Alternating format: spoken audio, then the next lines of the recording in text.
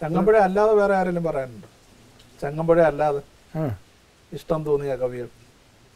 ഇടശ്ശേരിയാണ് എന്റെ ആദർശം ഐഡിയ. ഇടശ്ശേരിയാണ്.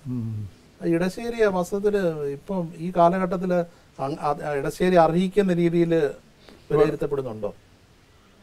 ആളുകൾ ഇടശ്ശേരിയുടെ കവിത മനസ്സിലാവാൻ തന്നെ കുറച്ച് പ്രയാസമുണ്ട്. അതാണ് ഇവിടെ എനിക്കിത് മനസ്സിലാകുന്നില്ല എന്ന് എന്ന് എന്നോട് പറഞ്ഞു. ഒ എൻ വി. അത് ശരി. ഇടശ്ശേരിയുടെ കവിത മനസ്സിലാവുന്നു. മനസ്സിലാവുന്നില്ല. പക്ഷെ അങ്ങനെ ഒരു പ്രശ്നമുണ്ടോ? എനിക്ക് തോന്നിയിട്ടില്ല. ഒ എൻ വി അങ്ങനെയാണ് തോന്നി എനിക്ക് രസമീ നിമ്നോന്നതമാം. വായിക്കാൻ. എനിക്ക് ഏത് ഇരുൾക്കുഴി മേലും ഉരുളട്ടെ വിടില്ല ഞാൻ ഈ രശ്മി.